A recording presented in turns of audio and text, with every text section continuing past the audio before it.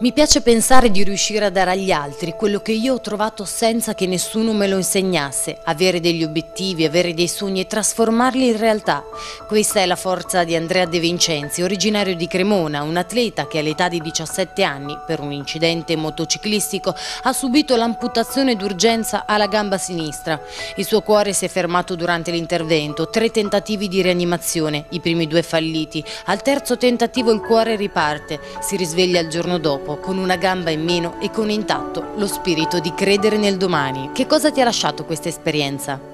Come tutti gli altri incontri mi ha lasciato le... tantissime emozioni. Eh, solitamente quando dico, ricordo sempre ai ragazzi che io sono a parlare davanti a loro, ma loro sono in 150, oltre anche 200 ragazzi, perciò ne, ne ricevo sempre veramente tantissima emozione e soprattutto tantissima energia. Fin da subito in lui c'è stata la voglia di raggiungere obiettivi, ritornare a studiare, di trovarsi un lavoro, di fare sport e di continuare a vivere. Lo sport è stato un elemento fondamentale durante, durante il mio incidente, perché ritengo, anche i medici lo confermano, che è stato lo sport, la mia struttura fisica che mi ha permesso di superare quel difficilissimo momento. La pratica sportiva a livello amatoriale nel canottaggio e nel nuoto è sempre stata una costante nella sua vita fin quando la passione per il ciclismo ha preso sopravvento. Le competizioni in Coppa Europa sono cominciate dal 2009, poi nel 2012 ha partecipato alle Paralimpiadi,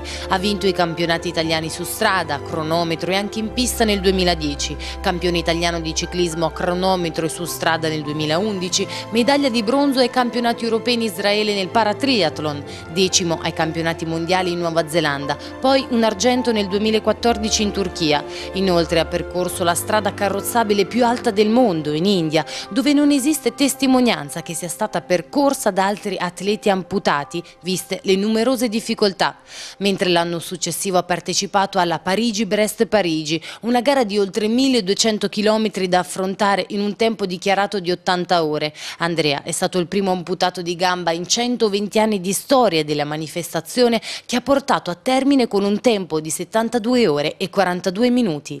Hai conseguito tante vittorie sia nello sport che nella vita privata? Sicuramente sì, ho una moglie fantastica, le due bimbe meravigliose, il lavoro non ho mai avuto grossissimi problemi, ho sempre affrontato la vita in modo tra virgolette da monormodotato, insomma non mi sono mai, ho, ho ritenuto la, la disabilità un, un, evento della mia vita dal quale ho imparato veramente tantissime cose. Valori che poi tramandi alle altre persone, soprattutto ai ragazzi che incontri nelle scuole. Le risorse non sono, eh, non sono cose che si acquistano, che si comprano, sono cose che hanno già, sono valori, risorse che hanno già dentro di sé e bisogna trovare le strategie, i modi per eh, portarle fuori. E proprio in questi giorni Andrea incontra gli alunni delle scuole del Nolfi di Fano grazie a degli incontri organizzati dall'avvocato Donatella Catenacci. Abbiamo organizzato questi incontri e questi eventi dove lui racconta la sua storia nella scuola proprio per dimostrare come ognuno ha le proprie risorse, non è né una gamba né un braccio né un dito, non è un impedimento esterno, a bloccare il successo di una vita. Quello di Andrea è un esempio di vita di chi ha lottato con tutte le forze nonostante il cammino pieno di difficoltà e come dice lui la vita non è finita, si è solo spostata.